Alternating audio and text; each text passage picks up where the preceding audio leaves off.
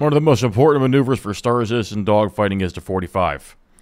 All it is is that you're turning your ship at 45 degrees, using your pitch and your yaw. For this demonstration, we are going to be using the lasers here in free flight. This can also be used as a training tool or a drill that you can use on your off time to improve your 45s. So, we are going to align our ship with this laser, and we are going to do a slow 45 up.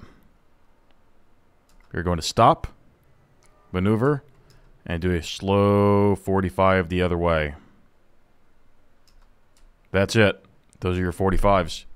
The reason why you would want to do 45 turns in a dogfight is to give you the most maneuverability to ensure that you are nose on and make it much more difficult for your opponent to get behind you or outmaneuver your gun.